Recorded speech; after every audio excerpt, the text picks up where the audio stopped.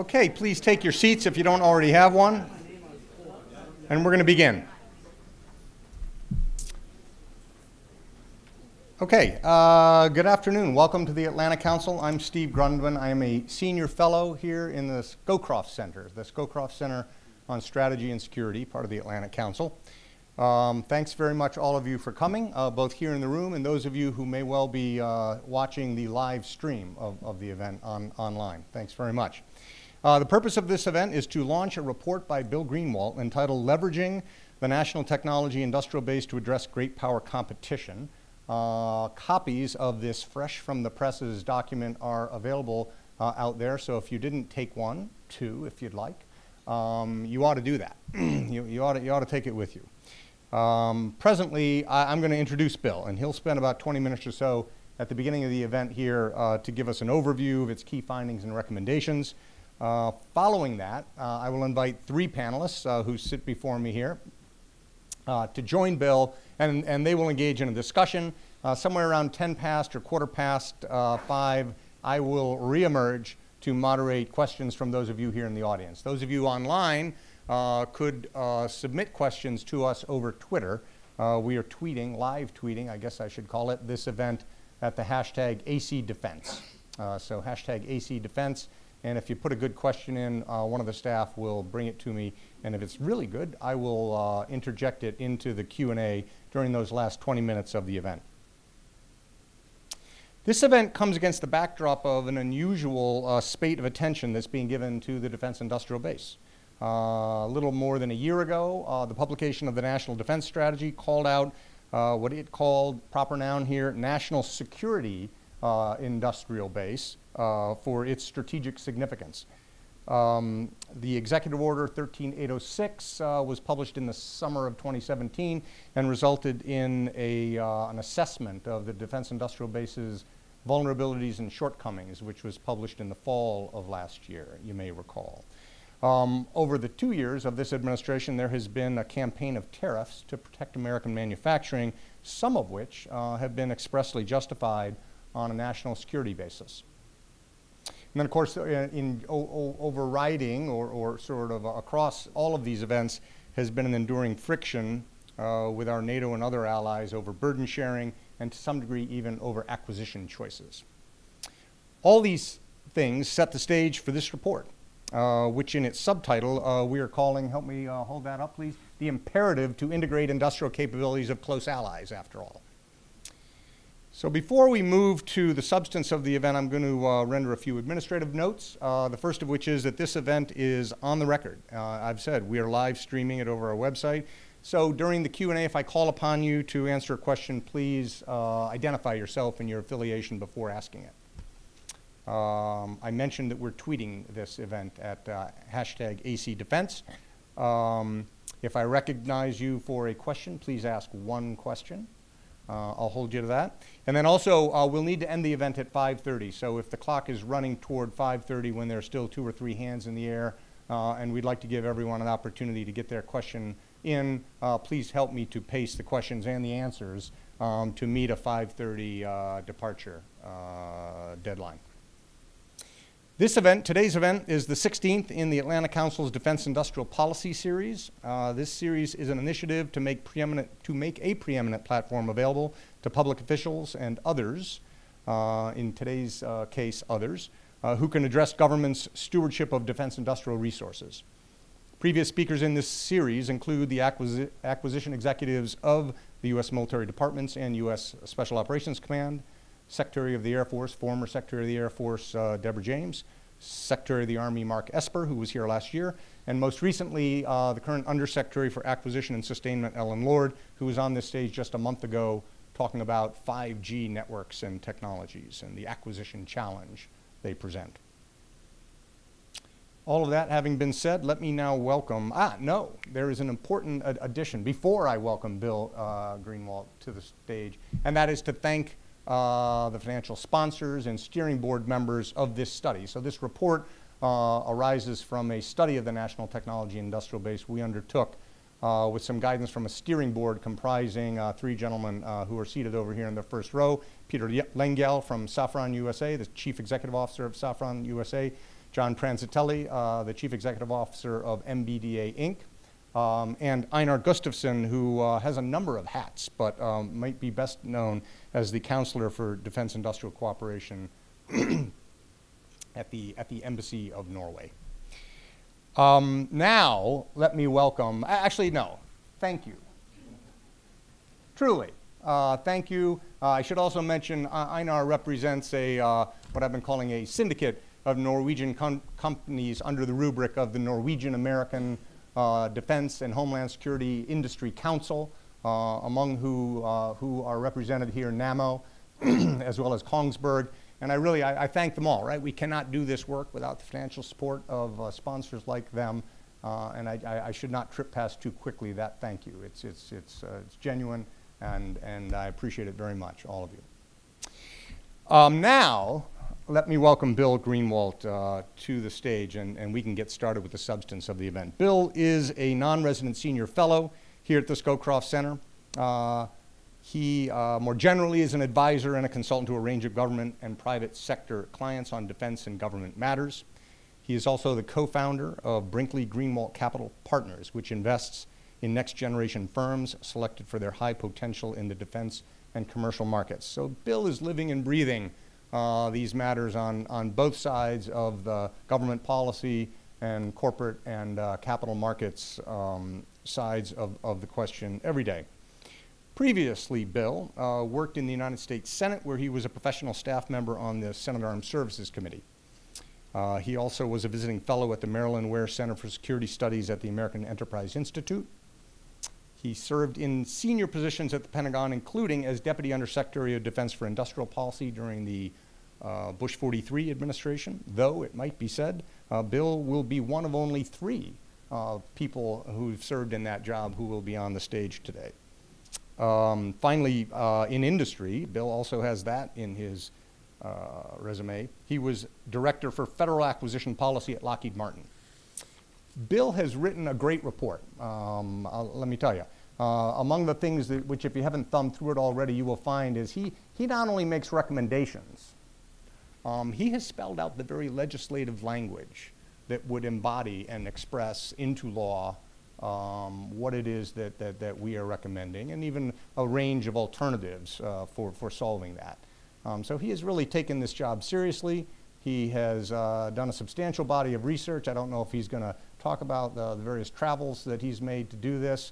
Um, the, this, is, this is no kind of polemic. This is a, this is a thoughtful, well-researched uh, uh report with uh, deliberately practical uh, recommendations. And, and uh, again, as I say, he has spelled the recommendations all the way out to uh, the, the very commas and prepositions of legislative language that would make this work, make this real.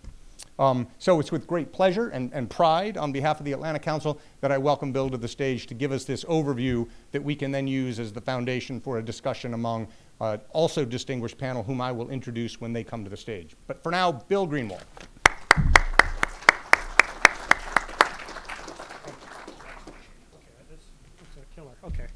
Perfect. Well, uh, thank you, Steve, and thanks to the uh, uh, steering board, and thanks to all of you who uh, have come here to, uh, to, to, listen to this. this was a, a, a, a terrific study in the sense that I, I, enjoyed doing it. I enjoyed traveling to our partner nations. I enjoyed talking to industry, to governments, um, and, and individuals on the Hill, individuals in, in, in the administration. Uh, it's, it's, I, I, was able to, to glean a lot, and, and frankly, I went beyond just our NTIB partners. I got a lot of great information from, uh, from various other um, uh, uh, uh, sources. How do I do the, how do I do the clicker? Well, where's the clicker?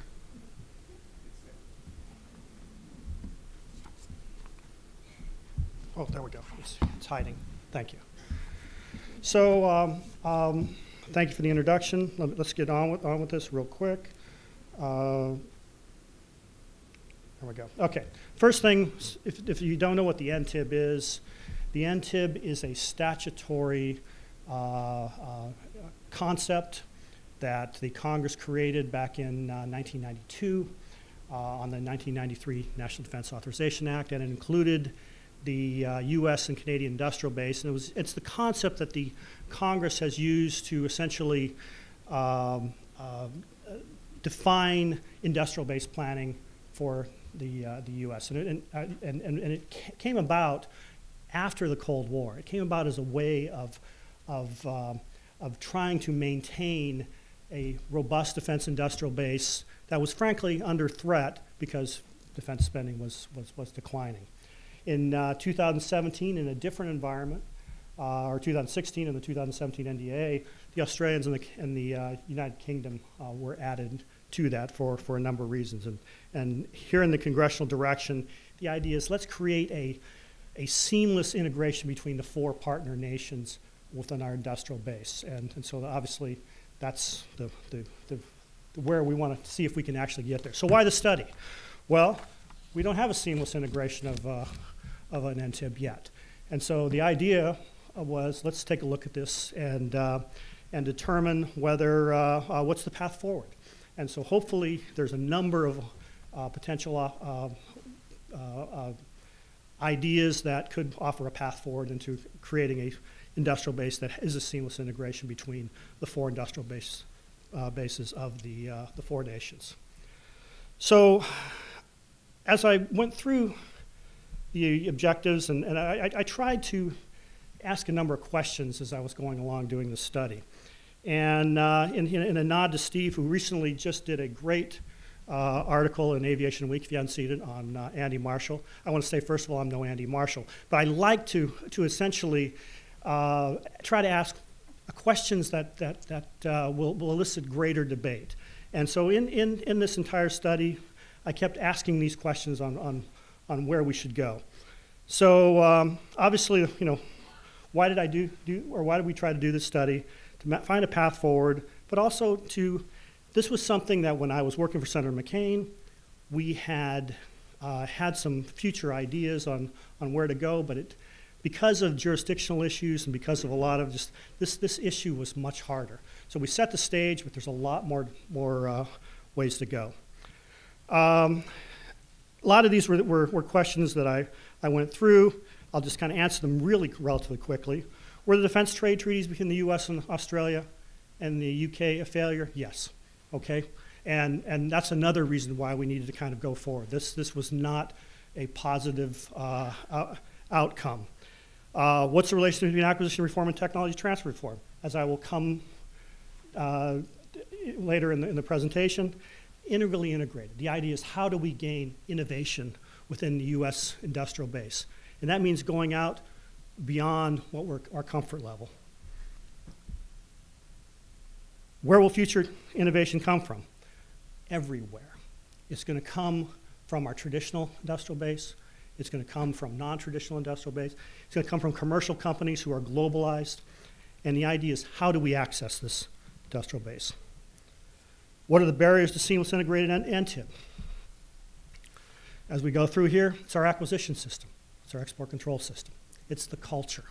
And so hopefully I can walk through and, and, and, and, and get a better understanding why. And, and, as you go through the study, I think you'll see where I'm, where I'm coming from. And obviously, why the focus on legislative language? Well, unfortunately, I'm a, I'm a, Hill rat for about 25 years. That's how I think. But at the same time, it, it's, it's, it's one of the most successful things that I had when I was on the Hill was when someone would give me legislative language. And the Section 800 report, way back in 1990, was probably the best report that I've ever seen because it laid out the steps to do that. And that's what I tried to do in this particular study. All right, I'm not going to go too much over this, but I just want to say you got to set the stage and understand where we were and where we are and where we innovated. Because if you don't understand where we innovated, the issue of whether we need to bring in a, a larger industrial base is probably moot. So as we go through how we innovated, what you'll see, and this was the basis for even acquisition reform, was we started off with World War II, working with our allies, working with a commercial industrial base. Everyone was geared up. Civil military integration was everywhere. And our Canadian partners We were the arsenal of democracy, and our Canadian partners were essentially the arsenal of the empire. And we geared up and we did some amazing things. Then, when the Cold War started, there were no processes and rules. Essentially, the 50s and early 60s were about getting capability to the warfighter as fast as possible. The second offset, by the time we got there, in the mid 1970s, were about how can we get capability to the war, warfighter going around a system that we had created that precluded innovation. And uh, uh, so we end up with PGM, stealth, GPS. And then for probably 30 years, we went on a incremental 15 to 20 year cycle of innovation. And we have to kind of think why, why that's the degree. Why, why do we do that? All right. What's the compelling case for bringing in a new industrial base? It's the same as acquisition reform. And the acquisition reform imperative was we need innovation. Why? Because the threat's increasing. The threat's not only increasing, but we're falling behind. We're losing our technological dominance. Maybe we're on the cusp of it, maybe we're still ahead, maybe we're a little bit behind, but we're losing that dominance. And the third area is that the management processes, like export controls, like the 5000 series, like the contracting process, are geared and optimized for the Cold War and for a different place and a different time. So the threat, as we all know, it's not the Cold War, it's probably worse. We have uh, the China and Russia are not the Soviet Union. They're not thinking in five-year plans. They're not thinking in, uh, in ways which we can uh, create a, a, uh, a Soviet-style management system to counter them. And, and we have a pretty idea of what action reaction is going to be. Uh, it's a different world. And we'll talk about why, why that is. We have to deal with medium-sized powers. We have to continue to deal with, with terrorism. But I think the biggest threat we have to think about and we didn't have to think about that with the Soviet Union, is because we are at parity. We are at parity as population, um, and we had a greater, greater economy. We have to think of China, what I think is as a, 4, a 4x problem. They're four times our population. That means probably somewhere within there, they're eventually going to have four times or more engineers and scientists. Eventually, they might have a greater economy than us to pull off uh, resources. How are we going to compete against that? Uh, well, the idea is our GDP is bigger right now. We can have more R&D productivity. I guess we can let more immigration in and increase our population, but that probably is, is a little political uh, issue going on. So we're going to need our allies. We're going to need to partner with other countries to build up the ability to have the, the base in which to compete with a country that is four times our size. So how do we, how do we lose our technological dominance? Well, since Cold War, we kind of kind of been moving a little slowly. We've been doing incremental in, in, uh, investment, upgrading of technologies that we created in the second offset. And so our adversaries have had 30 years to catch up, to replicate what we have, to steal what we had, to take advantage, asymmetric advantage, uh, because they don't have to deal with the, the, um, um, the already uh, uh bought, bought and paid for base that we already have. But most importantly, it's the research and development trends. Beginning in the Cold War, back in the 60s and 70s, US government drove innovation, drove research and development spending. About 1980, US commercial research and development achieved parity with the government. And since that time, commercial research and development has moved on and on and on and on. Why is that important? Because innovation is coming out of that research and development. Where research and development dollars go and what they're spending is where innovation is coming out of. And the US government is becoming smaller and smaller, and DoD, is, as a percentage of US government, is becoming smaller and smaller as far as R&D. Now, DoD is only going to be only going to be spending money in hypersonics. That's great, but there are other areas we need to take advantage of, and our adversaries are doing that. So we've got the adversaries approaching asymmetric approaches, the commercial marketplace moving forward, and our allies haven't been sitting still either. They've been investing slowly but surely over the last 30 years, and there's some really great technology and really great niche, tech, niche technologies uh, over there.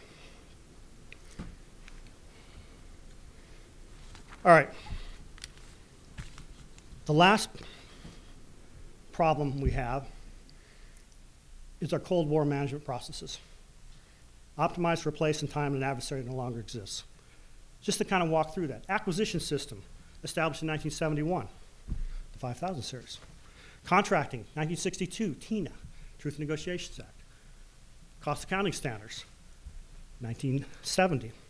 Our budget system is a relic of uh, Secretary McNamara bringing in the best and brightest Ford Motor Company's budget process, which was pretty much looked like the Soviet five-year plan that we've continued with today. Information management was all done, Computer Security Act 1987, personnel, which Samantha knows very well, 78 Civil Service Act. But most importantly to this, this particular uh, discussion, the Arms Export Control Act in 1976. These are all Cold War ideas adapted around a time and place when the U.S. was technologically dominant. We're no longer. Innovations coming out of from different places. But these processes are legacy processes that we have to continue to address, and it's going to be very difficult for us to innovate unless we change those processes. We tried to do something in acquisition reform in 2015 and 17, but the rest of these processes remain unchanged. And that is going to be a huge problem when we try to actually implement acquisition reform. So, as far as dealing with how we're going to integrate and seamlessly integrate with our allies, export controls came up as the uh, major barrier. Obviously, there are others. But uh, this is the one area where it made perfect sense in 1975 to establish the uh, uh, process that we have today. Why? Because we were dominant, and frankly, we didn't want that technology going anywhere. So the system does that perfectly. But in a time of when technology is no longer dominant, we're no longer dominant, that's a problem. So when did we start losing our dominance? Starting in the 90s with commercial, starting in 2000 when all that commercial technology globalized. And sitting at about 2015, we started realizing that we were losing uh, some of our advantage through asymmetric uh, uh, operations by our adversaries. So the, the basic tenet of what we have here is what once was a great system has to change. If you're no longer technologically dominant, that means there are, there are certain companies and certain countries and certain technologies that we want. And if at some point these firms or these countries no longer want to give that to us, we have to invent it ourselves. And what does that do? Called technological reinvention. If Google has something that they won't give to us, we in the Department of Defense will have to reinvent it. That takes R&D money. That takes resources. That takes money that you don't have to move in to reinvent something that you could buy. And by doing that, you're taking money away from things that are defense unique, like hypersonics, directed energy weapons, things that we should be investing in.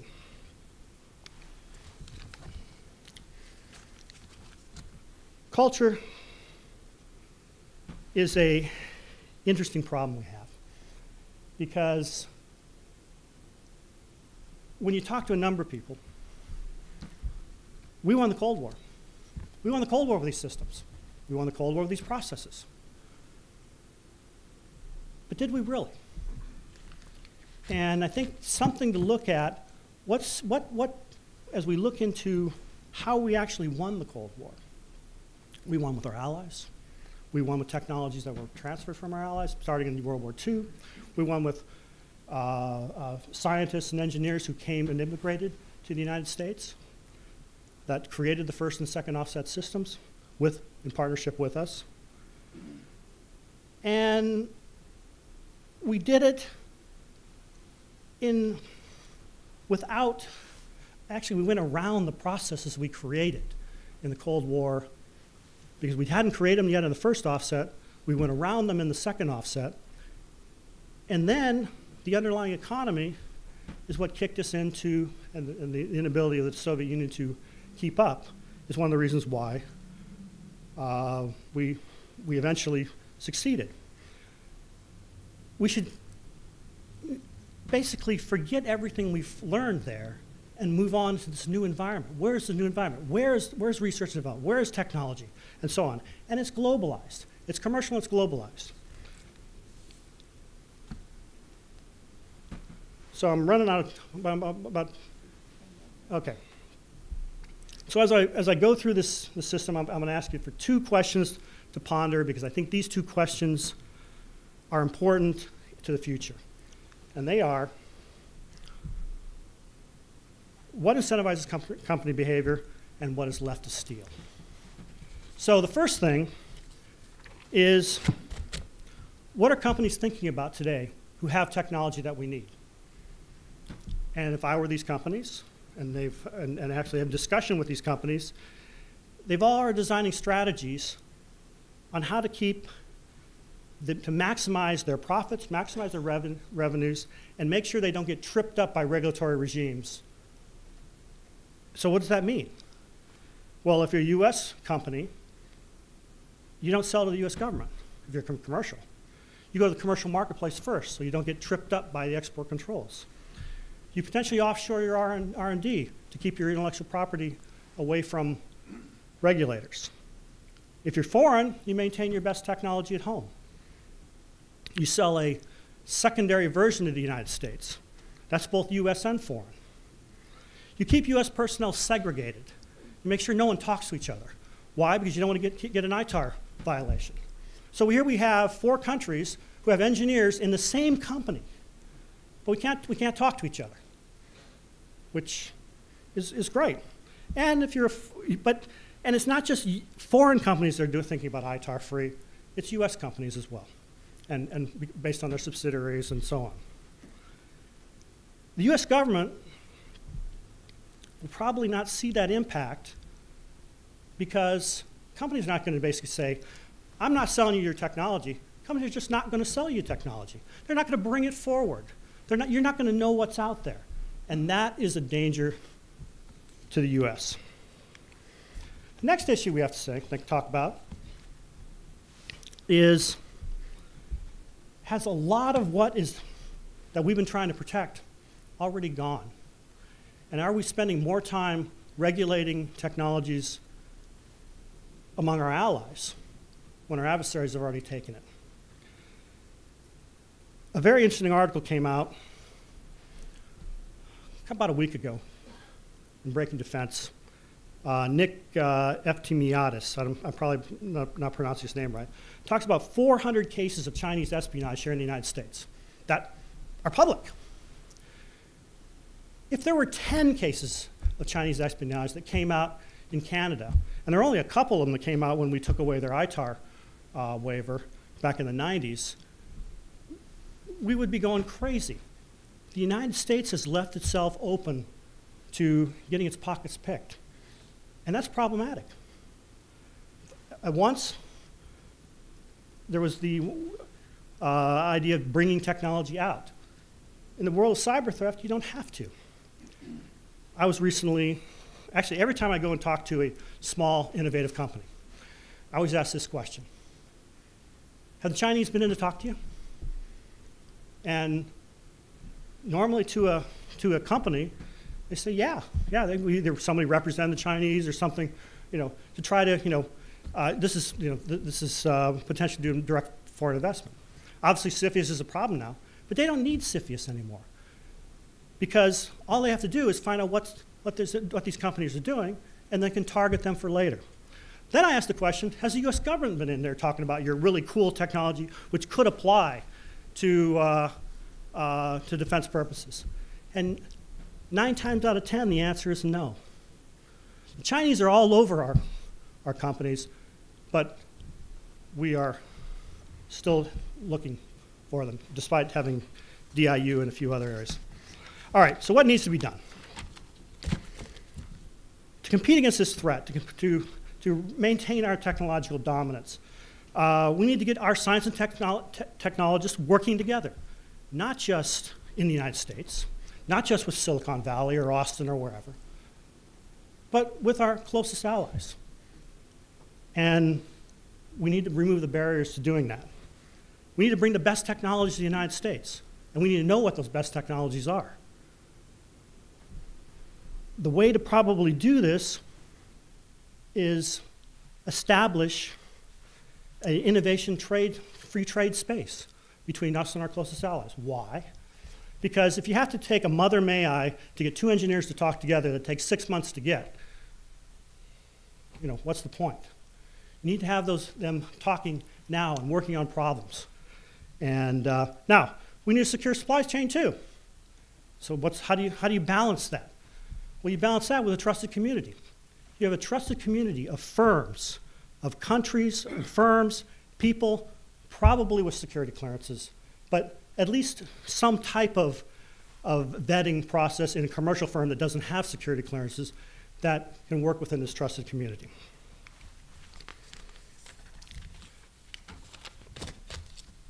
This probably needs to be taken at a broader level. But I don't see the culture moving beyond in a wholesale fashion until there's agreement on the threat and agreement on how far we actually technologically are behind. So if a complete upheaval of the system is too big of a culture change, NTIB is the perfect test bed to start testing some of these concepts to provide an alternative system that eventually we can migrate to as we get the bugs out of the system, as we feel they're secure, that we have a secure supply chain, that we have trusted community, and that we're achieving the innovation that, that uh, is necessary. We can then, once we've succeeded there, expand that to not only the commercial marketplace in Silicon Valley, Austin, wherever, but also to our closest, our closest next tier of allies. And as we try to figure out how to, to bring in more commercial companies and more commercial innovation, we can let, take the lessons learned from that to apply to our allies. Because really, they both face the same barriers to innovation uh, cooperation with the, with the US government. So the report outlines this compelling case why we need to do things. It outlines a number of recommendations, 22 uh, legislative recommendations. Hopefully, you don't need to pass 22 legislative recommendations, so the Congress doesn't need. A lot of this could be done by the administration on its own. Uh, I've, I've put the recommendations in four buckets. First bucket is really about governance, about a, um, uh, an itinerary of type of, uh, of, of, of issues that should be addressed in a, sen- a very senior body with a number of working groups, whether it's foreign investment, whether it's secure supply chain, whether it's export control. But the biggest and important, most important recommendation here is recommendation two. Because if we don't change our export control process, we don't change our technology transfer process, we are going to go for it alone. Well, US industry probably just US defense industry, will be leading the charge. And that may worked in the Cold War. It's not going to work in a world where 95% of R&D is out in the commercial marketplace and globalized. Um, it can work for some things, but probably not everything. Recommendation three talks about acquisition barriers, and uh, they're formidable, but not as formidable as a tech transfer barrier. And finally, the recommendation number four addresses how to use the NTIB, how to work our way through this process, and creating the NTIB, uh, using the NTIB as a test bed for future cooperation with not only our other allies, but with Silicon Valley. And so with that, I think I'd like to um, set the, set set stage, and then we'll go to the next, next level and have the panel. Excellent, thank you, Bill. Yep.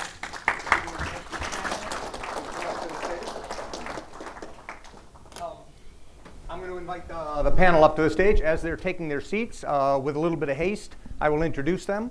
Uh, they are going to speak in turn, uh, offering a few minutes of their own uh, prepared thoughts about the report and about the topic. Um, and then Bill's going to moderate a conversation among them. Um, uh, from Bill's left, nope, from my right is Scott Baum, who currently serves as the Principal Director for Industrial Policy in the Office of Industrial Policy at DoD. He previously served as the director of the Office of Commercial and Economic Analysis for the U.S. Air Force. He also has been a program manager responsible for applied research projects and legislative liaison support to, to the Undersecretary of Defense Intelligence. He's also been an Army officer. After Scott, uh, Samantha Clark uh, will speak. Samantha is special counsel at the law firm Covington, where she is in its public policy practice group, as well as the CFIUS and government contracts group. Before joining the firm, uh, she served in a number of senior staff positions at the U.S. Senate Armed Services Committee, uh, most recently as Deputy Staff Director and General Counsel. Uh, finally, to her right, and, and speaking after uh, the two of them have, is Brett Lambert. Uh, Brett has been on this stage before. He's the Vice President of Corporate Strategy at Northrop Grumman. Uh, prior to joining that firm, he was an executive in residence with Renaissance Strategic Advisors, a senior fellow at the Nash- and a senior fellow at the National Defense Industrial Association. From 2009 to 2013, I have alluded already to the fact that Brett served as Deputy Assistant Secretary of Defense for Manufacturing and Industrial Based Policy, that administration's incarnation of the job that Bill had had uh, during the Bush administration. So, starting with Scott, turning to Samantha, and then Brett, let's continue the conversation until we're ready to take questions from the audience. Scott. Awesome. thank you. Uh, I think, is my mic on? Are we working? All right, awesome. So I appreciate it. First, Steve, thank you for inviting me. And Bill, thank you for giving the opportunity to talk about what, from my office, is quite frankly one of the most important structures we manage today in dealing with our closest partners and allies. And I also want to thank the Atlantic Council for their thought leadership. Um, as you mentioned, uh, over the series, speaker series that you have, you're bringing forward some of the most important questions that we have today about how do we ensure we deliver capability to the warfighter. And fundamentally, uh, from my boss, Ellen Lord, and the Office uh, of the Secretary of Defense and Acquisition and, and Sustainment, that is what we do. We deliver cutting edge capability to the warfighter. So thank you for giving us the opportunity to A, be here, but more provide that thought leadership. The more discussion we have on these complex issues, the better off we are collectively. Uh, and so that is why it's important for my office to be here and participate. Before going on and talking about the NTIB, I want to maybe just quickly educate everybody from the Office of Industrial Policy what our roles and our responsibilities to just give you a, a, an understanding of the diverse issues that, that come across the office. First, from a policy and outreach perspective, we're responsible for setting the policy structure that deals with industrial policy. And so recently in Washington, uh, we delivered the 13806 report, which was a long term temporal view of the risk, the strategic risks uh, that the, currently the defense industrial base uh, is dealing with. And what that has allowed us to do is set a template and level set the discussion, not just with our industry, both domestic and international, but our closest allies and partners. Uh, and so within the policy and outreach uh, area, we're also the lead for engagement with industry. That is industry associations, domestic, industry associations, international, and also individual companies. Um, we manage a series of investment vehicles in which the Department of Defense can use to address critical issues inside the industrial base. So often people refer to these as Defense Production Act or Title III, uh, IBAS, and this is where the department can assist addressing what we would say are structural uh, weakness or flaws inside specific industries. We are the lead for the department on CFIUS, and so that places uh, our office uh, closely with our allies and partners, and specifically the NTIB allies and partners, to talk about foreign investment and foreign direct investment and understanding how that has evolved and changed. We're also the lead for reviewing for the department mergers and acquisitions under a series of um, antitrust laws that have existed in the United States. But our office, uh, in partnership with the FTC, executes those reviews to understand what would be the impact to the defense industrial base. And finally, uh, we are responsible for assessments, and that's looking at the health and welfare of industries and sectors that the Defense Department uh, relies upon. And from that generates a series of reports. Often the reports have to go to Congress or our services or our counterparts, uh, including our NTIB counterparts. Our office has long participated in NTIB and previous constructs of NTIB, uh, in, NATIBO, and, and a variety of other structures that are out there. But in 2017, Bill, as you pointed out, um, Congress uh, rounded out the equation with including the closest partners and allies that we have worked uh, with since World War II, and, quite frankly, even before that. Um, and what that has allowed us to do is put a structure in place in which governments can sit down and talk about the evolving nature and challenges of our collective industrial base. Uh, and in the last year, and so I'm recently a member of the industrial policy team, uh, but in my short time being there, I have met with my uh, NTIB counterparts.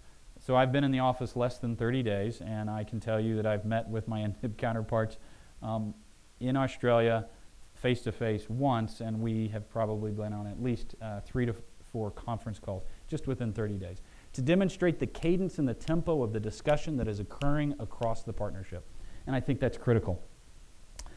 We see NTIB as supporting the three elements of the National Defense Strategy uh, for the Department of Defense. Those are the, the core foundational um, elements that we focus on, first being lethality. And as we en- engage our NTIB partners, um, the greatest contribution and the role, uh, the, the strength of the United States is with our partnerships and alliances. And it starts with our closest partners and alliances.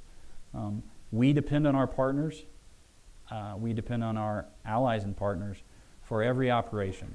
And so NTIB provides that structure in which we can ensure also the industrial bases uh, deliver that lethality. Uh, the second NDS element is strengthen partnerships and alliances. And quite frankly, uh, for NTIB, that has been integral. And NTIB has helped us harmonize our foreign direct investment um, regulations and review processes.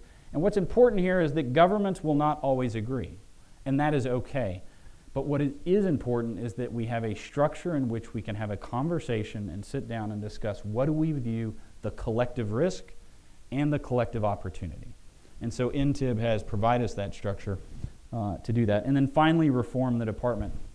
Uh, if you hear Undersecretary Lord talk about this, um, she has launched a whole slew of processes to look at what are we doing in the department, how can we be a better buyer, and this includes buying uh, critical technology and equipment from our partners and allies.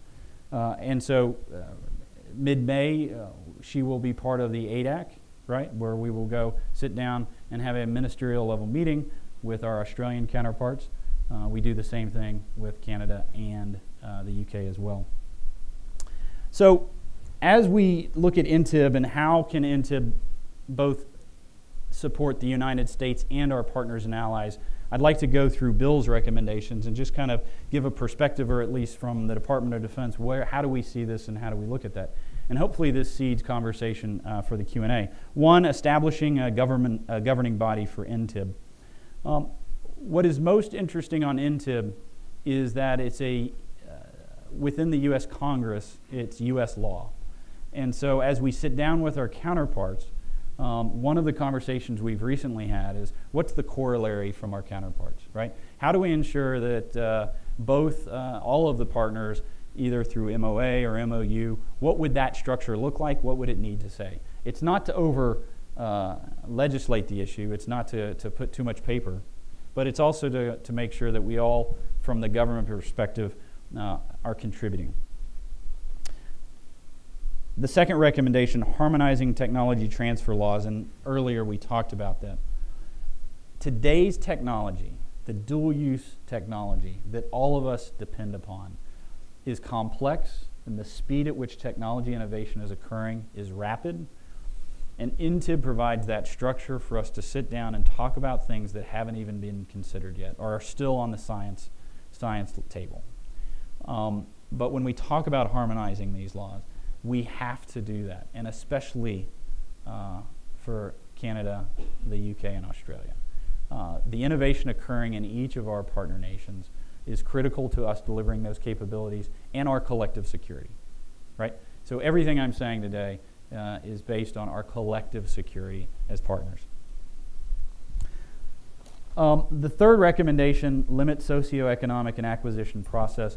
The Department of Defense has long worked to make sure that we have inclusion of our defense partners inside our industrial base, that they can compete, um, uh, they can compete for contracts, they can be part of it. Uh, and we will continue to do that. From the department's perspective, we look to our uh, partners and allies as well for the recip reciprocity. And I want to thank uh, my partners and allies in the room for working very hard to ensure that continues. Um, all of us face a series of challenges, both domestically and internationally, uh, and we recognize that uh, from the Department of Defense and specifically from uh, the Office of Industrial Policy. And finally, uh, the NTIB should serve as a test bed for innovation. And what I will tell you, Bill, and during the question and answer, I'll bring up maybe specific examples. Uh, but today, our partners and allies are doing exactly that. Uh, but what I want to highlight is it's occurring in the small startups that are in the UK. It's occurring in the, in the, in the industries in Australia and in Canada. And whether you see that in mining advancements, whether you see it in natural resources, whether you see it in, in software development, we are looking at um, collectively working together to solve some of our most difficult problems. In conclusion, I want to highlight we don't have all the policy options. These are complex issues, and so one of the calls I have today is for industry and for the think tank community and for government to help put more creative solutions on the table. And to Bill, I, I thank you for doing the heavy lift, and Samantha, uh, you know, I am the recipient of the work you put together, um, and it's my job to make sure that we deliver results. And as our last uh, NTIB discussion, the general agreement was let's focus on results. Let's focus on specific things um, that we can collectively do, and we're doing that. So thank you for the hard work in doing it. The more policy and creative policy approaches we can have, the better off we are collectively, um, and we need help in these answers. And so with that, thank you for the time. And Thank you, Scott. Uh, we'll turn next to you, Samantha, please. Great. Thank you. Thanks, Bill, for writing this report and the Atlantic Council for having me today. Working through these issues on the Hill was a very interesting project because I think when Bill and I set about looking at a lot of the history here, you got a range of answers of what's NTIB or um, wait, we're not already doing that. Um, and so it was sort of our job to go back and you know, dissect everything that had occurred from all the way back and explain to people where we are, where we want to be, and particularly, I found in the last couple of years with the threat from China that Bill talked a lot about today, what he calls the four times threat. You know, as members were starting to see that, as Secretary Mattis was coming to the Hill and talking about the growing threat with China and Russia, people were thinking, well, gosh, you know, if we have supply chain security issues and we can't necessarily trust the networks we've been using, why wouldn't we work with our allies more? And I think McCain uh, really saw that and really grasped onto that, and he wanted to use the allies as peers, as partners in solving all of these problems. And that's why, particularly, the legislation, including Australia and the UK, was put into the defense bill you know, in, as part of this, Bill and I took some field trips. So um, the first one we took was to the UK, and we spent a lot of time there learning about the challenges. We met with the MOD, we met with Rolls-Royce, put on a, a great show for us with all kinds of industry representatives to come and specifically talk about what are your ITAR issues, where can we help. Um, and then Bill and I both separately did the same thing in Canada and then last year, over the 4th of July, I spent my 4th of July in Australia, uh, coincidentally in their defense building, which is called the Russell Building, which is what our Senate office building was called, um, and walked through all of these challenges there, talked about their developments and what they're working on in technology and how the US can actually leverage that. And you find through having these conversations so many similarities. So, for instance, you know, the Australians are working on a big shipbuilding project, and we could share some issues that we saw when we did that, or actually be interested in how are you going about recruiting the workforce you need for this, and we should learn some of those lessons. And it's, it's not just on the pure import export ITAR challenge side, but there are so many other lessons you can learn when you work together on this. Um, and I think I'm not going to go through all the recommendations, but the one I found the most interesting is where Bill talks about there's really a need to do a harmonization of US code here. There are a lot of instances where instead of a reference to NTIB, it actually just says US Canada. And I'd been thinking a lot about this with the Defense Production Act, um, the 1950 Defense Production Act, which many in this room and Scott probably know as DPA Title III, we like to call it, where we're actually looking to grow a shortage we have in the domestic supply chain.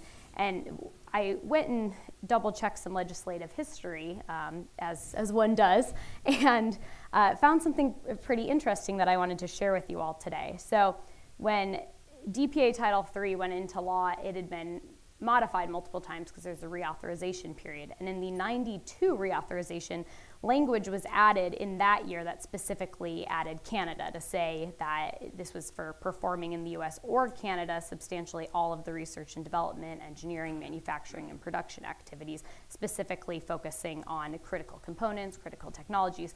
And what was interesting is the NDAA that passed that year, as you know, Bill kind of gave a little spoiler alert in his speech, also established the NTIB that year. And the language establishing the NTIB, the definition there is, is eerily similar to the definition that was included in the DPA reauthorization. You know, it says this is for research, development, production, maintenance activities conducted within the US or Canada, and then goes on to talk about critical technologies. So those, the language mirrors each other very well. And so I went back and I thought, well, when did these pass? You know, when was this action on the Senate floor? When was the department looking at it?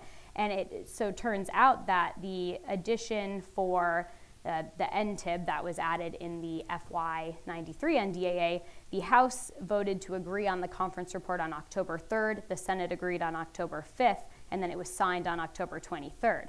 Well, fast forward a couple days to the DPA Title III reauth, and you see that the House agreed on October 5th, which was the day the Senate was agreeing to the NTIB language, and then the Senate agreed on October 8th, and that was signed on October 28th. So you can see there that that was actually a tandem effort that was being worked on at the same time. It was intended to be a similar effort, but because when you write legislation like this, um, and Bill and I had a lot of experience here, you specifically are putting in what's going to be actionable immediately. So I'm sure Scott could speak to the sort of regulatory rulemaking delays that sometimes occur. Yeah. Um, and so you put in, okay, US, Canada, go, start, implement. Well, we're going to take some time to create what the NTIB actually is and implement that later. And so Bill's recommendation about let's go back and let's harmonize and let's say anywhere there's a reference to US, Canada, that probably should say NTIB and that probably should include our UK and Australian partners. And to do that look and to find if it's not in every instance, you know, where might it not be, but I would guess in 99% of the cases that is the intent. And I think that's an effort that uh, would be very interesting for the Armed Services Committees to undertake. I know Bill and I would have a heck of a lot of fun with it. So um, I think those are the types of things that are almost easy wins or easy cleanups to get this moving along where you're taking a concept that's evolved over time, but then you need to go back and make sure that the code actually reflects that. And that's why Bill's legislative recommendations are so important because it shows how you can do that, it shows different approaches to doing that, and it really gets the conversation going in a meaningful way. You know, as a, a former staffer, you know, this is very actionable. Um, and so you know, the seriousness of it and all the support that I know Bill went and did those trips again, and the support you all gave him in that is, is so instrumental to getting this done. So I'm just thrilled that we're having this conversation. Bill, thank you for inviting me to be a part of this, and I'll kick it over. Thanks. Thank you, and thanks, um, Bill, for the report. It really is good. Whenever I read uh, something like this, I try to look at it through a, a, lens of, you know, is it is it interesting? And this is certainly interesting. Uh, is it actionable? Very impressive. I agree with you. There's a lot of implementation uh, opportunities. Uh, but then th- those actions, will they have any result? And, and that's where I, I worry. Um, regardless of what uh, the Hill language the Hill might pass or what any one administration might do to tinker around the edges, I think we all have to recognize that this problem has developed over decades. And, and, and Bill does a nice job, I think, of, of highlighting some of the elements of the problem. And, uh, but I think we need to be honest with ourselves of how we got here. And it, some of it was paranoia. Uh, a lot of it was, frankly, American hubris. Uh, anyone who's traveled significantly recently internationally to our allies realize that they're on a technology part in many cases ahead of us, and we find it hard to come to grips with that. And I think that's more of a cultural uh, than it is a, a factual uh, instinct. And if you just think about, uh, Bill wrote in the front part of the of the report, which I liked as kind of the, the tier of trails of, of American um, uh, decline in the technological sphere. You know, we, we got, we talked about the arsenal of democracy, and it's in the report, but really was an arsenal of technology uh, that was built up through that second generation. And then we did everything we could to husband that second offset technology to, to wrap ourselves around it. And over time, we've tinkered with it legislatively. Uh, we've tinkered with ITAR. We put in language, some of which could be used more efficiently than it is now. Uh, and we've tried to applique over the problem, but we haven't gotten to the fundamental problem. We've, we've talked about building higher walls around fewer things, probably not enough concentration on the fact that the really important part of that equation is to continue innovation so that you're creating things that people want to steal. Uh, once they stop wanting to steal it, the walls don't really matter. And if you uh, look at the degradation of the Defense Department in particular is a, is a, a, ratio in ratio to commercial spending, particularly on the technologies of most import right now in our collective, the NITB collective national defense, it's becoming uh, more and more uh, minuscule and we're not tapping into those broad markets. And frankly, even if we had the implementing language to tap into them, in my conversations with a lot of my industry partners, a lot of them don't want to work with us uh, because we make it too hard. Uh, and so that's not just here in the U.S. It's, it's I'm sure it's, uh, it's true among our closest allies too. So I think we, we need to take we need to be a, have an honest assessment of, of any changes that we will implement. Uh, what effect will those changes have, and what are the role that both industry and governments have to execute or to, to rationalize the expectations into, into actionable and uh, pragmatic steps that can really change behavior and change culture. Because at the end of the day, we've tinkered many times with ITAR. We have a lot of implementing legislation that could allow us to do it. We have two treaties, and none of them had succeeded. And at some point, you have to step back and say, all of this effort is going in both legislatively and in the administration to change these rules, but we're still not getting traction. We're still not seeing great benefits. It's still, be, it's still just too hard. So I don't think that the um, uh, that anything that I read in the recommendations is, is, is out of line or wouldn't be accepted. I think it's all rational. Again, my concern would be how do we e- effectively implement it? And that leads to the last point I, would make just before leaving. Having been in uh, both industry and then government and then back in industry, industry has a significant role to play here, uh, much greater than an individual program or an individual effort that uh, an industry or a particular company might be uh, might be trying to to take on. We tend to, as industry, look at things in these very stovepipe uh, manners when it comes to both exports and re-exports, just as our clients do. The industry mimics its client very well, and that's probably a, a fault of both of us. Uh, these more innovative approaches, more holistic approaches.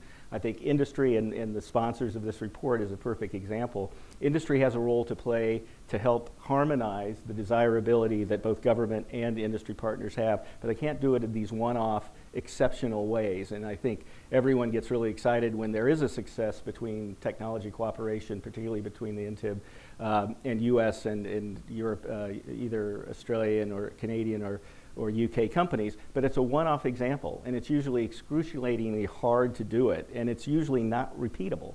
Uh, tends to be unique. And so I think industry, by highlighting and supporting these kinds of efforts, can play an important role in reinforcing the desire that governments state that they have and turning those into reality. So it's an important first step, but I would say it's a, it's a, it's a very long road uh, to make it a reality. And, and it, we have to do these, we have to get this language, but it's just one of many things. And, and the culture on both the industrial side and the government side is probably the biggest hurdle we'll face.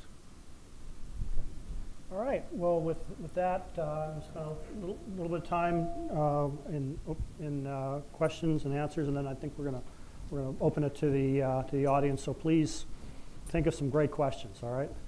Uh, Brett, let me start, start with you, uh, if you don't mind. Um, Depends on the question. well, it depends on the question, obviously. Obviously, if not, you can pass.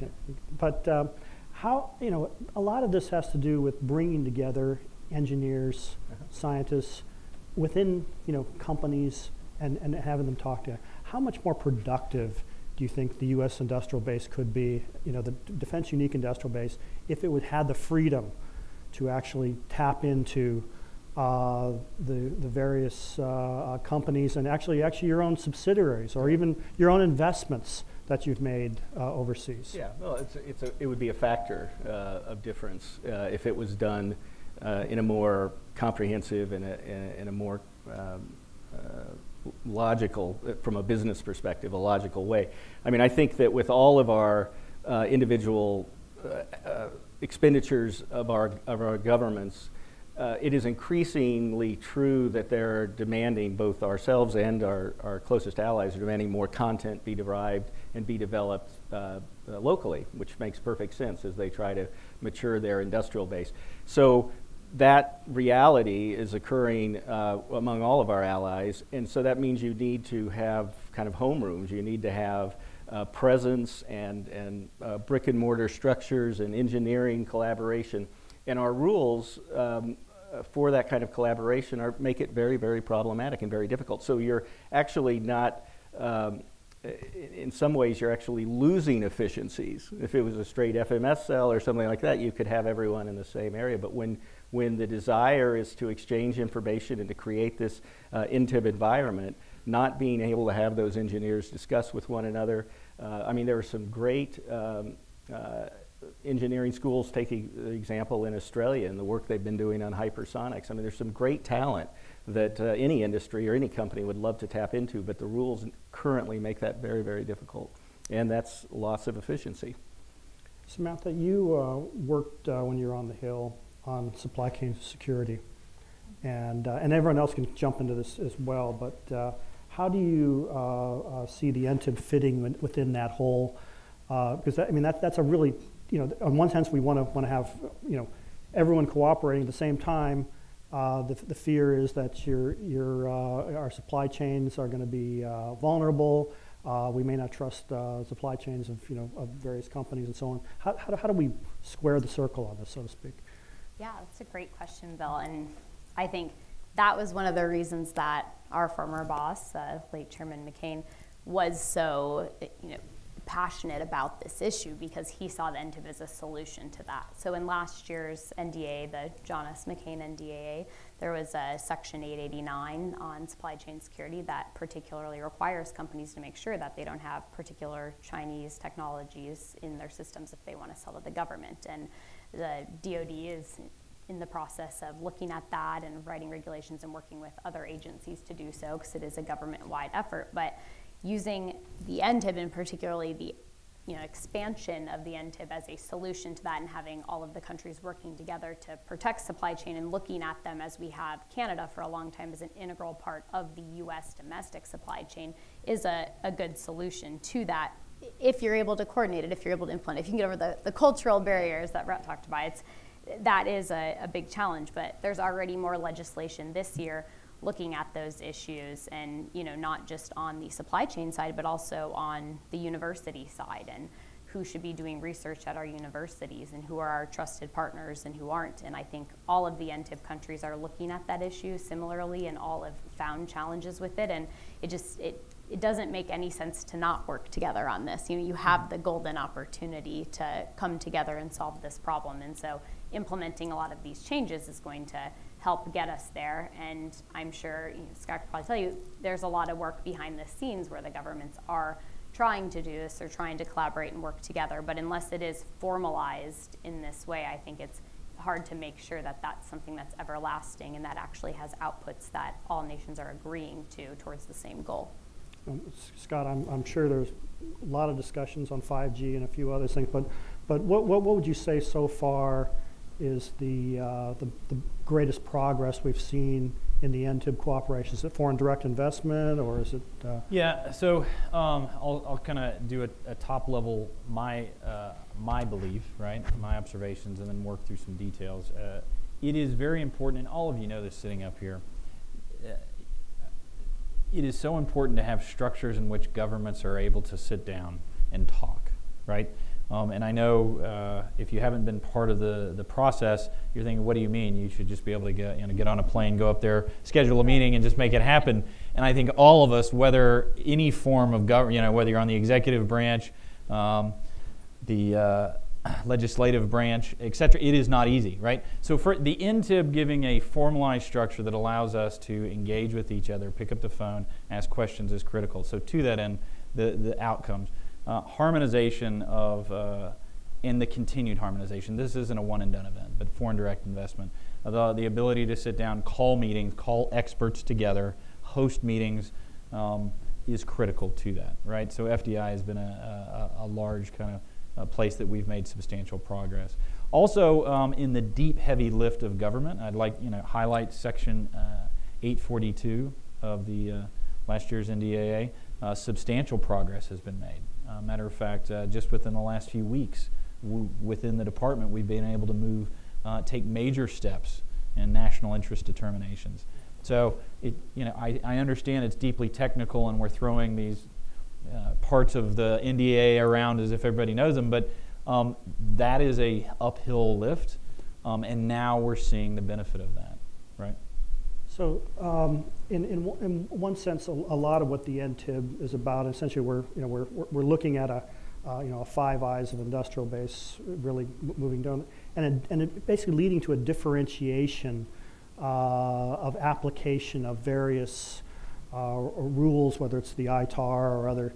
Um, how, I mean, uh, what are the barriers to that? I mean, essentially, you know, we, we've, we've spent uh, a lot of time trying to not differentiate between foreign countries. Yeah. And, and, and so this is, this is the beginning of a, a tiering, which has always been a, been a problematic, at least in the foreign policy world. Is that, is that something we, we should be concerned about, or is it something we should embrace? I mean, I, I, I, I won't tell you my opinion on that, but, but uh, is, is, is, that going to lead to major problems, I think? And anyone who wants to jump in, please. I think that is a challenge, and I think you know, when the FIRRMA legislation was done that was modifying the CFIUS process for foreign transactions with the United States, um, they struggled with that concept of do you have a white list or a black list? Do you name people or do you kind of do it internally but not make it formal? And what's the risk reward there and what do you get out of that? You know, in the end, they decided not to formalize it. And I think that does become a challenge. And I think it's a challenge on the Hill you know, they do have to deal with sanctions. The Foreign Relations Committee spends a lot of time dealing with sanctions, dealing with foreign military sales, and if you can't sell somewhere, what are your other solutions, and what's that threshold? You know, the Senate spent a ton of time last year dealing with the Turkey situation. Um, I'm sure a lot of you saw a lot of news about that, um, and so until there's a level of comfort in that I think it's that's a big challenge. And I think that also not just the NTIB, but all allies and partners being able to come together and have a trusted network sort of in some ways eliminates the need to do that because if you have a trusted supply and it's easy, you don't have to make some of those other decisions. Yeah, you talk about, you know, it's, it's an interesting uh, cultural perspective of we always feel awkward of, of naming and not. Um, I think multiple um, leaders in the Department of Defense have stated you know, the, the fundamental fact that we cannot envision a military operation in which to our right and our left we don't have our closest partners and allies. Period. Right? And so sometimes we don't even want to differentiate between our potential adversaries, you know. But so you know, so, well, not just be differentiate yeah. between our allies, but also. So, so, but for this conversation on IDTIB, so you know, and that and history has shown that I need to look backward hundred years, and I and I fully plan on looking forward uh, a thousand years. And so the point is, is uh, we acknowledge that, um, and so We've acknowledged that in the intelligence community. Uh, we're acknowledging that in the industrial base. We acknowledge that in different partnerships with the air, with the different services. We have a land component of this. We have an air component, a naval component, right? Um, and so what you what you bring forward is is the fundamental fact. Collectively, uh, democratic societies based on rule of law, right? our partners. And so, what are the structures we need to have in place to make sure that that's an endearing event? Uh, uh, You want to? Brett, or shall we turn to? No, go ahead. All right, let's uh, take some questions from what I happen to know is a fairly expert audience. In fact, I would several times uh, uh, have interrupted for explanation of acronyms and other things, but I know that this is a pretty expert audience, and so we can start on step two uh, with this group. Um, could I see a show of hands of those of you who do have questions so I can get a sense for how we're going to spend 15 minutes? There's one, two, three hands, four. All right. Well, that is few enough that I'm going to get the first question in, and then we'll turn to those. If there had been 15 hands, I would not have exercised this prerogative. Um, the politics of this is what I want to know. In, in a certain respect, um, probably not in this audience, uh, most of whom are kind of invested in the success of this, but in the greater context in which we're dealing, this um, sounds like it's running straight against the grain of some parts of the administration, some parts of Capitol Hill, maybe some parts of our own al- allies' po- politics. Um, let's keep it here at home. Um, just give me a sense of the politics of Bill's recommendations um, in this season. And uh, we'll start with Brett, because he uh, didn't get to answer the last question. And then I'll pick up, starting with this gentleman right here. Can I Uh, answer the last question? Sorry, you passed on that, buddy. I- you know, the, the politics are always going to be an issue. So that's why it's important in any of these discussions, I think, to focus on outcomes. What, what outcome are you trying to achieve? Um, and you're going to have to deal with the political environment. I think one of the issues I see with, with this, um, with the cooperation overall with our allies is that you know, you, you have to have the right policies, you have to have the right statements, you know, and you're, you have the legislation like this language where you're trying to lead this horse, you know, to water, but then you look behind yourself and you realize it's, you're leading a camel and it's not going to drink for a while. So you just have to keep going and keep trying and trying, and eventually the outcomes do result. We've already seen some good progress with our uh, allies in some areas of cooperation. And I think if we just stick to it, it will outlast the politics, whether it's you know for it or rapidly rapidly against greater cooperation. Uh, I think it's the, the the reasonable policies that we can implement, and with rational people on both sides uh, of, of the oceans, uh, I think they'll prevail in the end because there isn't an alternative. Uh, we are losing a technological edge here, and this is a this is a, a solid option to recapture some of that capability, and we're just squandering it by squabbling. Samantha, what are the prospects, let's just this summer, for these kind of legislative proposals? Sorry. Well, no, I'll spare you the long lecture on where the process is and how that works, sort of on the procedure side. But I would say if they were presented with these recommendations and had time to consider them for, for the cycle, I think some of them, like the harmonization and, and those types of recommendations, could easily be inserted. And I think a lot of people would think of those as code cleanup or just smart continuations of policy that's been in place for a long time. I think they're you, you get more challenging the more detailed you get. And I think he, Bill's been working on these issues for a long time, and he certainly knows where a lot of those touch points are. Um, and I think you know expanding beyond the core NTIB we have now and bringing in other allies, which is where we'd eventually want to get. I don't think we're there yet. I think they would look at how do we further the NTIB we already put in place. The ITAR issue is the hardest because it involves multiple committees of jurisdiction. You have to get the Foreign Relations Committee involved, the Armed Services Committee is going to be involved, the Banking Committee is going to be curious about it, Commerce probably wants a say. And by the time you coordinate that, you're looking at another year into the future. But I do think there are some pieces in here that that could go in. And I think the administration's already kind of testing this concept in what it's doing on 5G and the Huawei debate and what the other countries and primarily they're talking about NTIB countries when they talk about that issue, what direction they're going, where can everybody work together on it, and does it make sense to use that as a way to instruct supply chain security or does it not? Scott, I wouldn't put a career member of Senior Executive Service on the spot here exactly to talk about the politics of this, but, but It's how's this going to be received in the Pentagon generally? Yeah, how it's going to be re- received in the Pentagon. Okay, so first, um, we appreciate all 22 legislative recommendations. We may not agree with all of Bill's recommendations, Uh, but, you know, what's important is they're having a conversation, is point one. Point two is the mil to mil relationship with our closest partners and allies is foundational. Um, and we often find in the Department of Defense that that relationship uh, helps communicate when there are other friction points going on between our, bet- and, and nations will always do that. But the mil to mil relationship we have found is, is a foundational. Uh, and the best time to plant a tree was 40 years ago. The next best time is today. So the hard issues with ITAR, the hard issues, um, it's, we got to get going. Plant the tree. Okay, we're going to take a question from that gentleman there, and then there was a woman right there who will take the next question from. Please, go ahead. Thank you. Peter Lichtenbaum with Covington and Burling, a colleague of Samantha's and a, uh, a friend of Bill's. Um, uh, so, first off, I, I, I served at Commerce Department as uh, uh, an export control official under the uh, Bush administration, um, and also at BAE Systems in the in the defense industry. Um, and I'm broadly sympathetic with Bill with your recommendations, as you know. Um, and I think uh, to the question that was just discussed, that actually there are some reasons to think that the politics could be supportive, because probably the biggest issue that we've seen over the last couple years legislatively in the executive branch and going forward is China.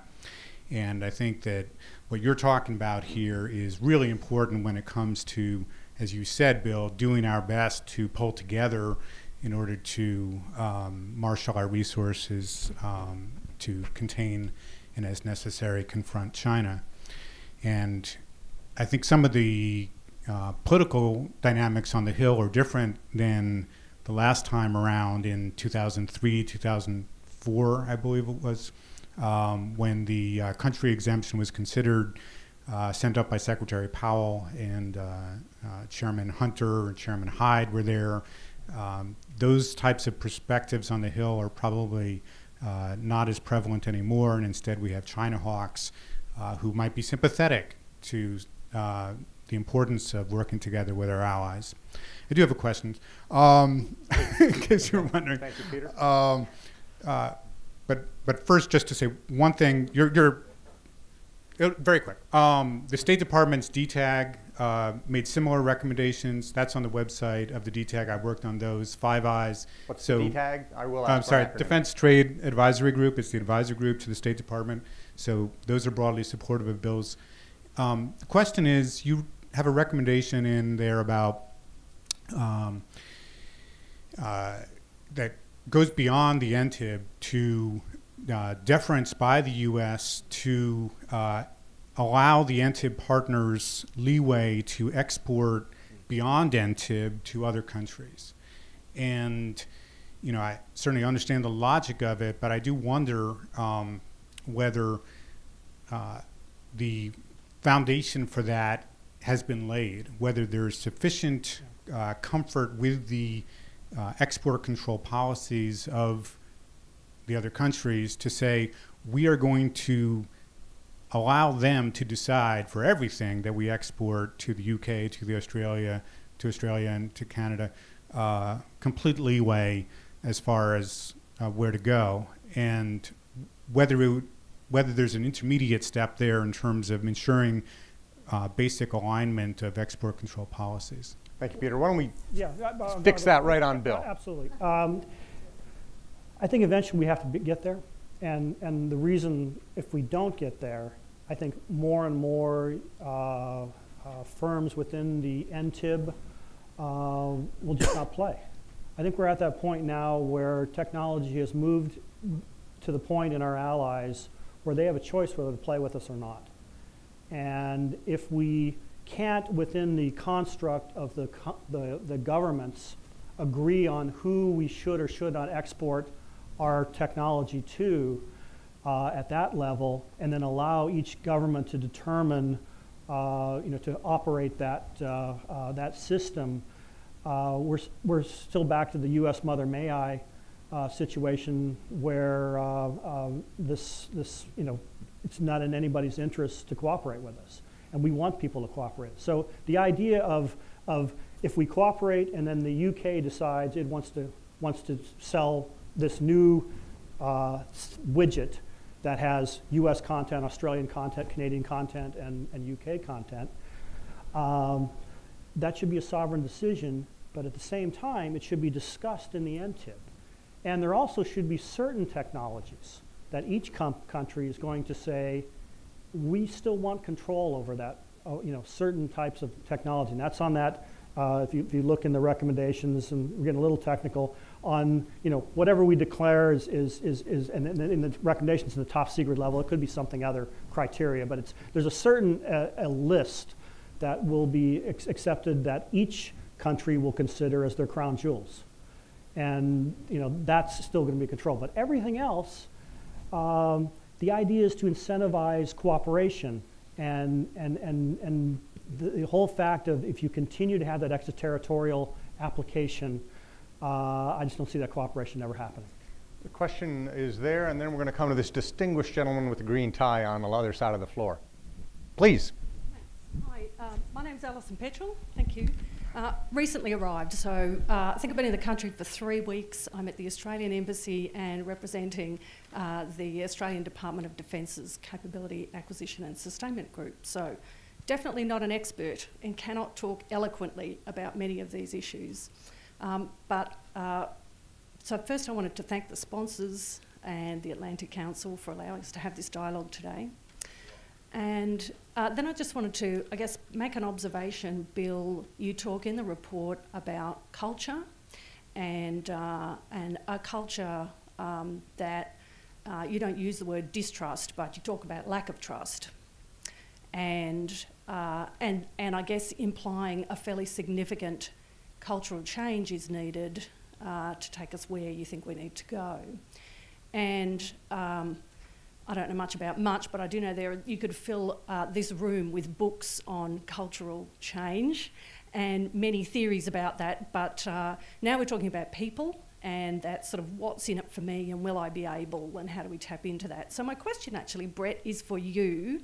If we were to fast forward 18 months, say, and all of the recommendations that Bill has made have been given effect, so they're in legislation what would it take to change the culture to give effect to that legislation? If we just put the legislation in, effect, would that be enough to introduce trust, or would we need to do something else? And I already want a two-finger response to whatever Brett says. Okay. Well, I I think it's, it's, uh, it- it- it's necessary but not sufficient, to your point. I mean, I- um, uh, culture can be changed, and it can be changed because the, the individuals desire it changed, or it can be changed because somebody above them tells them to change that culture. And particularly in, a in an organization like the Pentagon or, or even at the State Department, that does carry a lot of weight. You, you, all of the, these efforts over the last few years, in many ways, have been uh, good intentioned people trying to remove excuses from people who don't, who just want to say no for a living. You know, it's a lot easier to say no than yes. So every time they say no, well, we can't do something because of X, Y, or Z. Well, okay, let's fix X, Y, or Z. And so we spend two years fixing X, Y, or Z, and we go back and I say, oh, did I say X, Y, and Z? I meant R and S were the problem. And so we go back and fix that. So there's a lot of that back and forth. Slowly, we're knocking off the alphabet. Uh, and eventually, hopefully, these, uh, these pockets of resistance will be more and more isolated. So, in 18 months, do I think there'll be a significant change? No, but do I hope that an activity like this can help open a bit of the floodgates so industry can feel more confidence and can, and can apply more pressure with that confidence that the right thing needs to happen and now we're enabled to do it? I'm more optimistic to getting to that level than a wholesale change. And, and, I, and, I, and I think culture is not going to change until there's a compelling case to change. And that's going to be a complete recognition that the threat has changed. And, and I think there's going to be a rec- have to recognition that the United States is not technologically dominant like, the, like it used to be. And that's going to take some time because those who are, are, are, are oh yeah, well, one night, you're right. Those who are, are, are working the system truly believe that they're protecting national security. The issue, you have to change the national security debate. Let's do, uh, we're, we're very uh, close to 5:30. I'd like to do a lightning round, quick question, quick answer, quick question uh, from this lady, quick answer, and then we'll put a wrap to it. Great. Hey, everybody. Uh, Jerry McGinn, uh, George Mason University, proud alum of um, manufacturing industrial based policy, industrial policy, whatever you want to call it these days. Um, my question is uh, builds a little bit on what Peter was talking about. So I was also a veteran of the uh, uh, Defense Trade Cooperation Treaties when I was on the industry side in, in uh, your company now, Brett. And the, also, th- they, they failed in, in ways because I, I, I tried to get my company interested in other companies engaged on that, and we just really struggled. So one thing that uh, I want to ask you about about with today's effort with NTIB is it just really creates a tremendous uh, opportunity for government to incentivize industry. Now I think that foreign direct investment that work needs to be government to government, but what can you do? You've identified in the executive order on defense industrial base a lot of weaknesses, and there are a lot of places where uh, in particularly materials and chemicals, where Australia and Canada have tremendous ability to, where you could really work, create incentives for industry to get engaged to help mutually address um, industrial weaknesses. So, Got it. You, you know the question. Are we going to do something to use our allies to address some of these vulnerabilities and shortcomings? So I will tell you, Short yeah, answer. Jerry. In the short time, we're absolutely doing that. Uh, my partners and allies, uh, that is foundational to the conversations we are have had, are having, and plan to have within the next probably 30 days. Quick, quick question, please. And then we're going to take one more from this gentleman on the aisle, and then we'll wrap. Go ahead, please. One moment, please.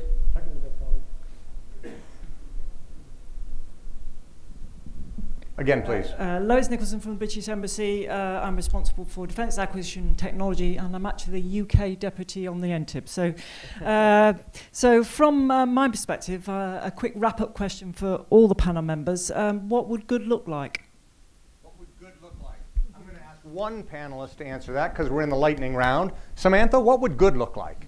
I think good would look like allies and partners collaborating together, particularly on the NTIB side, free flow of goods and services, software, um, IP agreements that are easy to track and follow, that are going back and forth without, you know, lots of heartburn on we're technical not- data rights. I know, I know. Wouldn't that wouldn't that be lovely? That's kind of the unicorn to crack. But I think having both the flow of goods and services and technical data would be uh, ideal. But if you can't get there, at least fixing the ITAR problem would really be great. Two words, technological dominance, Re- restoration, three words, restoration of technological dominance. A shorter four. way of Four. saying that, yeah. Okay, last question comes from this row here. They, they seem to be deferring to one another. Sir. Hi. Bill Newsma from IBM. I'm Hey, a former colleague of Bill's at AT&L. Uh, have been uh, executive in uh, defense industry at startups, uh, and now on the commercial side. So my question for the panel is signaling commercial industry. Bill, you alluded to the growth of commercial industry as the innovation engine currently. So we've heard in the report you're signaling the national security apparatus on intent and need. Uh, defense industry doesn't need so much signaling because they're they're fairly they're fairly well aligned with the client. Talk to talk to us about how to signal commercial industry. And, and, and in the report, I'm trying to signal the commercial industry that the problem that our allies face is the same that commercial industry faces. And even more so, the problems that the commercial industry faces in Australia, in the UK, in Canada are the same problems that Silicon Valley faces. And, and the governments of the Australia, of Australia, UK, and Canada could actually potentially do a better job than the U.S. if they figure out how to solve the civil-military integration problem of bringing in their commercial tech to their defense unique and solving problems in a way that creates new technologies that are disruptive. It's very possible that they'll succeed before we succeed, and we, in the, in, as a part of the NTIB, need to take advantage of that as well. So there's a lot of signaling trying to do that to equate Silicon Valley commercial with our allies. Okay, that is going to put a wrap on this. I hope that the event has uh, started the conversation, continued a conversation, but uh, more hopefully still added some urgency to it. This is this, the, the problem set, which Bill takes time in the report to describe, and, and that Brett uh, underscored in his prepared remarks, is, is, is pretty urgent. Uh, is pretty almost alarming um, if you if you look at some of the uh, both anecdotes and, and case studies uh, of, of what goes wrong uh, because we don't have a more well integrated industrial base uh, with our with our close allies. Um, so I hope this has uh, continued the conversation, added a, a, a jab of urgency to it. Um, I want to thank all of you for coming. I want to thank the three panelists who joined Bill um, to help uh, illuminate these issues. And I really want to thank, again, Bill Greenwalt, the huge effort uh, that he has undertaken here. Um, thank you, Bill, on behalf of the council. Um, let's all uh, go forward and see what we can do with it.